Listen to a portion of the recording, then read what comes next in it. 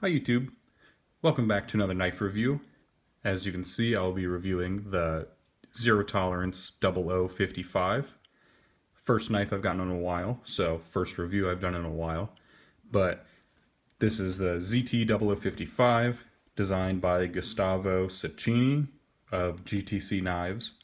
Uh, it's based off the custom GTC Airborne you can kind of tell in the shape of the handle and of the blade. The similarities between the two. So first off I'll go over some of the measurements.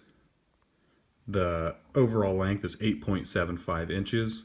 Blade length is 3.75 inches. It looks bigger and feels bigger than that but only 3.75 uh, blade thickness is 0.16 also kind of feels bigger than that. Uh, handle length is 5 inches. Handle thickness is 0.56 inches. And the weight is 5 ounces. Kind of surprised me when I picked it up how light it felt. Um, it kind of looks like a big solid titanium knife. So I was expecting it to be a lot heavier, but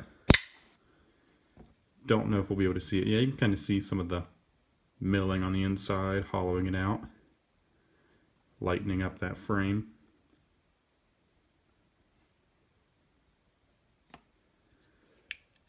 So yeah, they removed some weight off the inside. Uh, you get your normal zero tolerance box. I think most zero tolerances come with that nowadays. Um, inside's just some zero tolerance sticker, or not stickers, uh, a little packet showing off other knives, I think, of theirs. Um, I didn't really pay attention to it too much because of messing with the knife. Um, some of the things about it. The blade is a compound ground, flat grind. You can see that one's ground a little deeper. That's a little steeper of a grind stone washed. Nice sharp edge on there. It's got a little swedge right there. And if you look really closely, you can kind of see that it's not perfectly even. Not really enough to tell, but slightly uneven. Uh, not a big deal. It uses the SLT flipper you can see it's hidden away right there. When it's closed, peeking out right there. So it pretty much just has a spring right inside there when it's attached to the blade and that spring is attached to the blade where you pull that out and that's your normal flipper. And it gets you the leverage to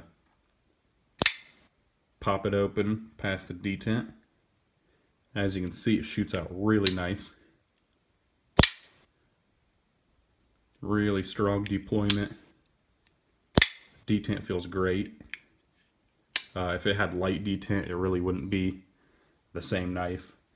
Uh, I, re I really don't think I'd like it if it didn't have that nice, strong flip.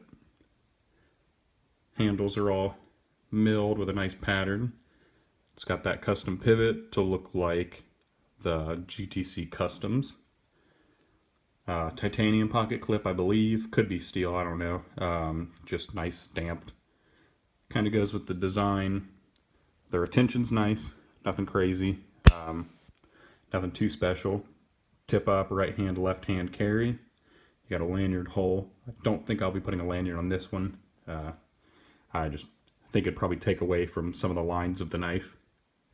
Lock bar stabilizer and uh, over travel stop and uh, whatever the uh, lock bar insert. And you can see the lockup if pull that back. Now I'm using two hands and can't focus it. There we go. Kind of see in there it's probably about 30% lockup. Locks up really nice. Uh, one of the cool things is back here on the SLT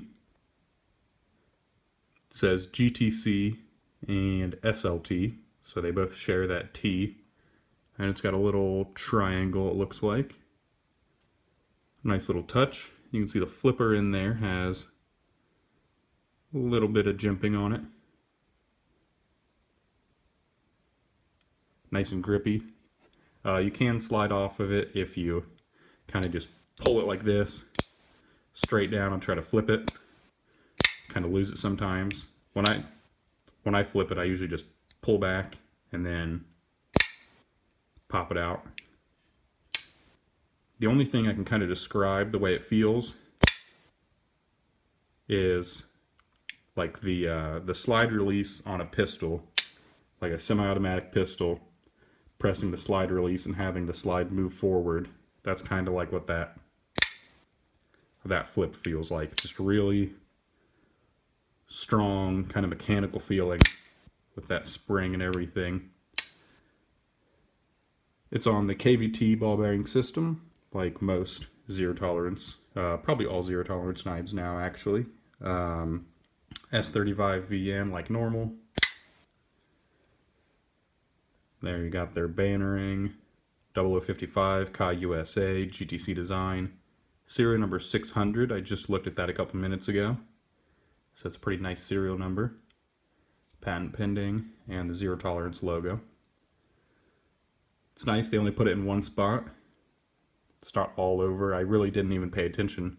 Uh, probably 10 minutes ago was the first time I ever looked at this bannering on the side of the blade. I never really paid attention to it before. I had to open it up to make sure it was even there because I couldn't tell or I couldn't remember if I ever saw any writing on the blade because I know that's one of their key things they always do is load up the blade with a bunch of stuff like that. Centering's not bad. I think it came out perfect when I got it and it might have loosened up a little bit. It's kind of over to the right side a little. I haven't tried tightening it or anything, but not too far off. If it is off, my eyes just might be messed up. I don't know. You can see that back spacer. Kind of one of the floating back spacers. I believe that's aluminum.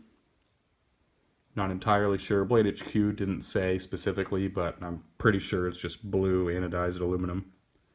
Um, somebody I was watching, I think Kevin Cleary, um, in one of his knife reviews of this, he made a good point about if you want a custom pocket clip to go on this instead of this boring uh, spring clip, and you get a custom titanium clip made, um, it's kind of annoying because if you try to anodize it blue, it's not going to come out as that same blue as the aluminum because they're both different materials. They're not going to be exactly the same. So if you try to get it to match, it'll probably be a different shade of blue than that, which is kind of annoying, but luckily I like the clip, so I won't need to change it.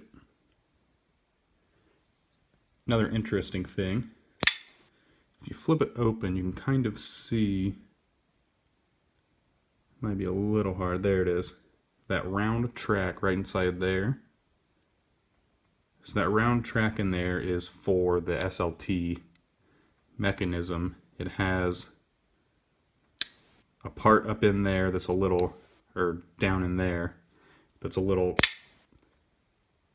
bigger, so it needs a little more room to ride through there. That is if you look at Epic Snuggle Bunny's video of him taking it down, you can see there's a screw, uh, a Torx bit, and a little cap that comes off, and then you can see the bearing because this knife actually has, I think, three bearings.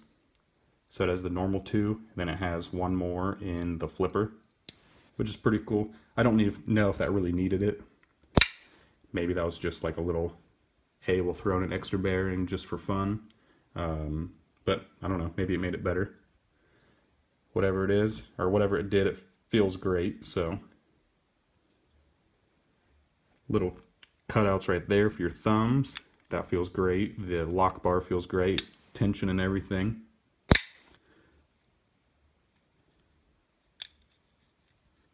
Nice and smooth. I haven't put any oil or anything on it yet. I think I might try that in a little while to see if I can get a little smoother, but as of right now, it's kind of a rocket, and it really really is smooth.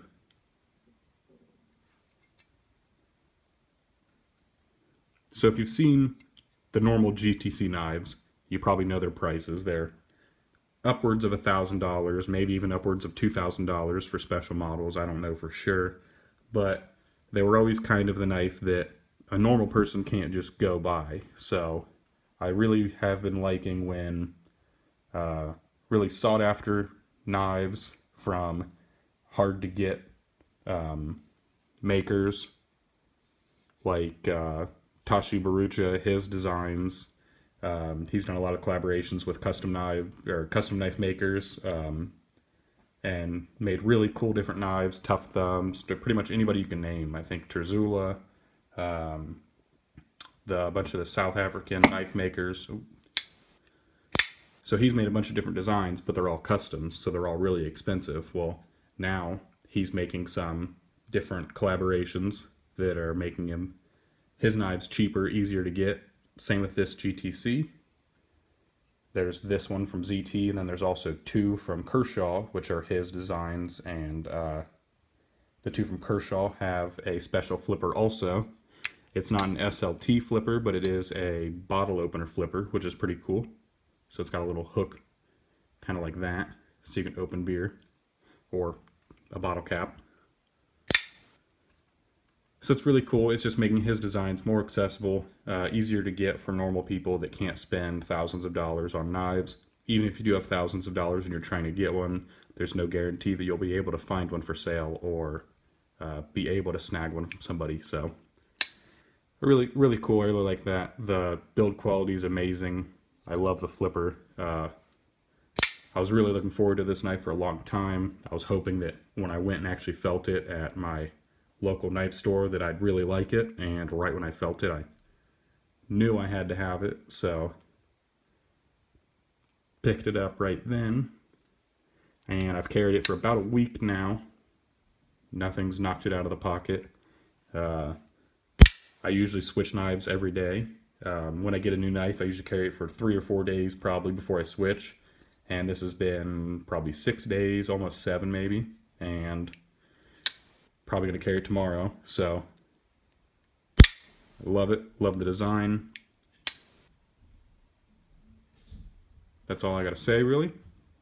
Thanks for watching. Don't forget to check out my other videos, my other reviews, and my Knives and Beer series. Thanks for watching.